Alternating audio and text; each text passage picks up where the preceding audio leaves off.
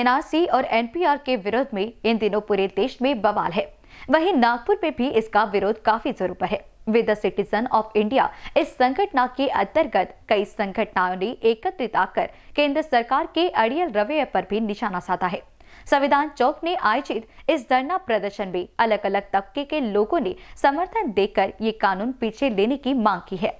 नागपुर स्थित संविधान चौक में we the citizen of India द्वारा चल रहे सी एनआरसी एनपीआर के विरोध को अपना समर्थन देने जेएनयू के पूर्व प्राध्यापक पुरुषोत्तम अग्रवाल नागपुर पहुँचे। उन्होंने जेएनयू के लिए अपनी राय व्यक्त की। जेएनयू पर लगातार हमले होने के बावजूद यूपीएससी में जेएनयू टॉपर है। कम खर्च में अच्छी शिक्षा का हर विद्यार्थी का अधिकार है। जेएनयू को कोसने वाले यह भूल जाते हैं कि प्रधानमंत्री के मंत्री भी जेएनयू के स्टूडेंट रह चुके हैं।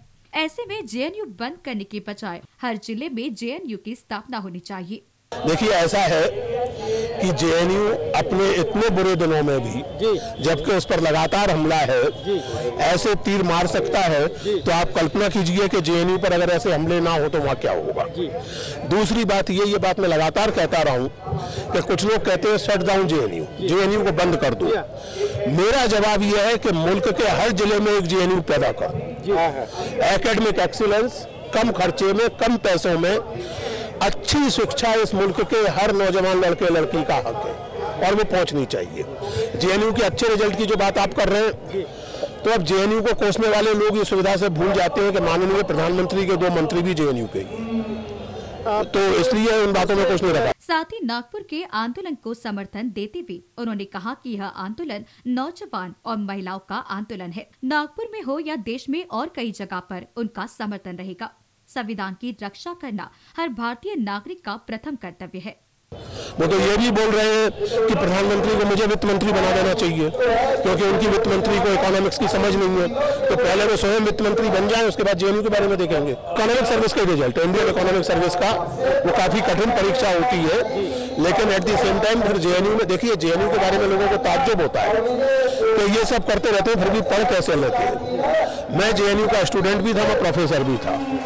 तो ऐसे लोगों के लिए मेरा निवेदन ये है कि जेएनयू एक ऐसी यूनिवर्सिटी है, जहाँ जितनी पढ़ाई क्लास में होती है, उससे ज़्यादा क्लास के बाहर जेएनयू के लड़के लड़कियाँ जब चाय पीते हैं, तब भी वो एकेडमिक मैटर्स डिस्कस कर रहे हो। मैं यहाँ आया ही इसलिए था कि इस प्रोटेस्ट के प्रति अपना सम्मान, अपना प्रणाम व्यक्त कर। मैं इस सारे प्रोटेस्ट का, चाहे वो नागपुर में हो, नागपुर के बाहर हो, मैं उसके प्रति अपनी अपनी, अपना तारीफ़, अपनी तारीफ़ व्यक्त करता हूँ।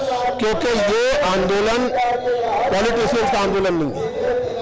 ये नौजवानों का और औरतों का आंदोलन है। और जैसा मैंने अभी कहा कि किसी भी समाज को ये तो तबके बनाते हैं तो ये एक तरह से लोकतंत्र और हिंदुस्तानी संविधान के रक्षा की लड़ाई है। और मैं इसका बहुत स्वागत करता हूँ, इसका बहुत सम्मान करता हूँ। केंद्र सरकार नए कानून, सीए, एनआरसी और एनपीआर को लागू करने के लिए अड़ी है। आए दिन सरकार से हर रोज कोई ना कोई स्पष्टीकरण सामने आ रहा है। मगर दूसरी ओर, इन कानून के विरोध में विरोधी पक्ष से लेकर विद्यार्थी संगठन तक जन आंदोलन तैयार हो रहे हैं। इन्हीं बातों के बीच पूरे देश में बवाल मचा हुआ है।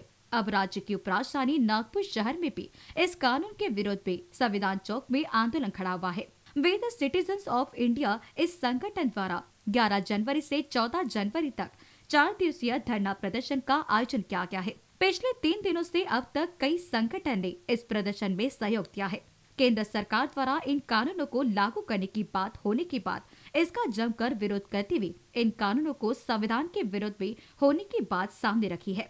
इकडे N P R, N R C आणि सी एच्या विरोधात संपूर्ण देशभरामध्ये कुठेतरी एक विरोधी वातावरण निर्माण होत आहे आणि आज नागपूरमध्येही या पद्धतीनं मोठ्या प्रमाणात एक धरणा प्रदर्शन आयोजित करण्यात आलं आहे. वकील संघटनेच्या वतीने इथे समर्थन दर्शवण्यात येत काय नेमकी मागणी आणि काय विरोध करत देखिए हमारी डिमांड जो है, वो जायज़ है, ऐसा हमको लगता है, क्योंकि जो कानून अनकॉन्स्टिट्यूशनल है, अनकॉन्स्टिट्यूशनल कानून के फेवर में जाना, ये वकीलों के मतलब है हित में नहीं है। हम नहीं चाहते कि मल्टीप्लिसिटी ऑफ़ लिटिगेशन हो, हम नहीं चाहते कि देश में विरोधाभास रहे, एक कम्युनिटी और दूसरे कम्युनिटी के बीच में, एक नागरिक और दूसरे नागरिक के बीच में। इसीलिए हम ये चाहते कि जो देश की गंगा जमनी तहजीब है, जिस देश में लोगों ने एक साथ में रह के, इस देश के हर त्यौहार को मनाया है, हम चाहते हैं कि वो कानून के अंतर्गत ऐसा कोई काम ना हो, जिसकी वजह से हम एक जात में जो आज ईद और दिवाली जो मनाते हैं, वो ईद और दिवाली के कार्यक्रम या ईद और दिवाली जैसे त्योहारों को हम अलग अलग मनाएँ या एक दूसरे को शक की निगाह से देखें।